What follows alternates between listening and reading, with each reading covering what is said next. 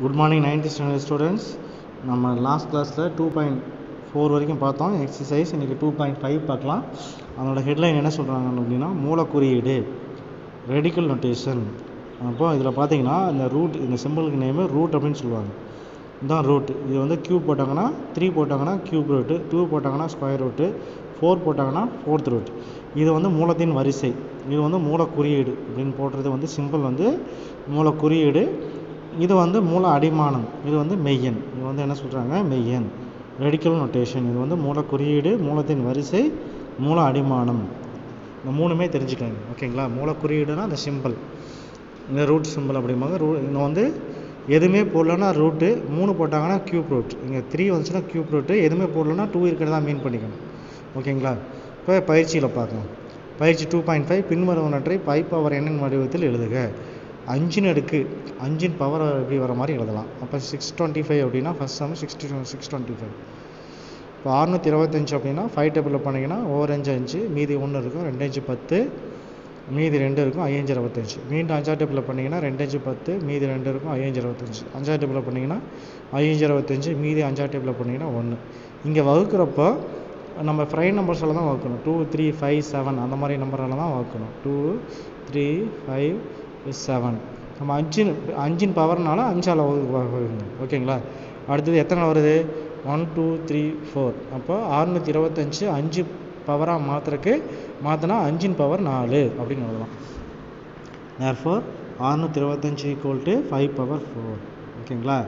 ஃபைவை four times மல்டிஃபை பண்ணால் அறுநூற்றி இருபத்தஞ்சி வரும். நெக்ஸ்ட்டு பாருங்கள் second subdivision one by five one by five equal to இங்கே பவரில் ஒன்றுக்கு தான் மீன் பண்ணிக்கணும். இது மேலே போச்சுன்னா five one divide by five இது வந்து மேலே போச்சுன்னா ஃபைவ் பவர் மைனஸ் ஒன்னாக மாறிடும்.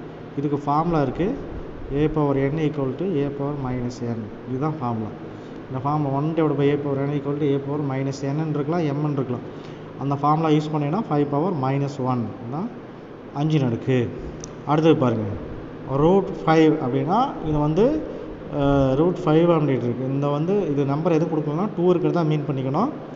ஃபைவ் ஈக்குவல் டு இது வந்து பவரில் எழுதுகிறப்போ ஒன் பை டூ இதோட மீனிங் வந்து இப்போ இந்த மாதிரி வந்துச்சுன்னா இதோட இது இந்த இங்கே ஒன் பை டூன்னு அர்த்தம். இதுக்கு வந்து ரூட்டில் ரூட்டு ரிமூவ் பண்ணுற எழுதுகிறப்போ இங்கே டூன்னு வந்துச்சுன்னா two power one by two suppose இங்கே த்ரீ வந்துச்சுன்னா என்ன எழுதலாம்? Two power one by three அந்த மாதிரி வரும்.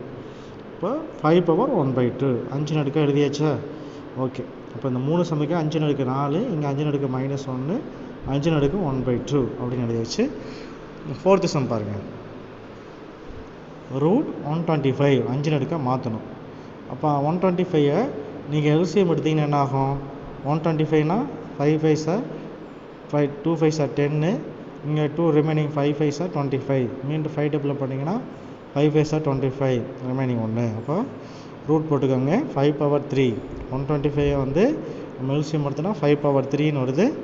ஓகேங்களா அப்போ இந்த சிம்பிளுக்கு என்ன மீனிங்கு இந்த சிம்பிளுக்கு மீனிங் ஒன் பை டூ இந்த சிம்பிளோட மீனிங் வந்து ஒன் பை டூ ஓகேங்களா இதோட மூணுக்கு ஒன் பை டூன்னு மீனிங் அப்போது ஃபைவ் பவர் த்ரீ இந்த சிம்பிளுக்கு பதிலாக ஒன் பை டூன்னு போட்டுக்கலாம். அதுக்கப்புறம் இங்கே ஒரு ஃபார்முலா யூஸ் பண்ணுறாங்க A power M whole power N அப்படின்னா A power M into N இது ஒரு ஃபார்முலா சின்ன கிளாஸில் எயித்தில் செவன்த்துலலாம் இருக்குது A power M whole power N equal to A power M into N இதுதான் ஃபார்முலா இந்த ஃபார்முலா அப்ளை பண்ணால் ஃபைவ் பவர் இது என்ன ஆகும் அப்படின்னா five into three one by டூன்னு வரும். இந்த மல்டிஃபை பண்ணிங்கன்னா five power three by two ஓகேங்களா five power three by two அப்படின்னு வந்துடும் இதுதான் ஆன்சர் இப்போ நாளைக்குமே அஞ்சு நடுக்கு மாற்றி நம்ம எழுதியாச்சு. எதாவது டவுட்டுன்னா கால் பண்ணுங்கள் தேங்க்யூ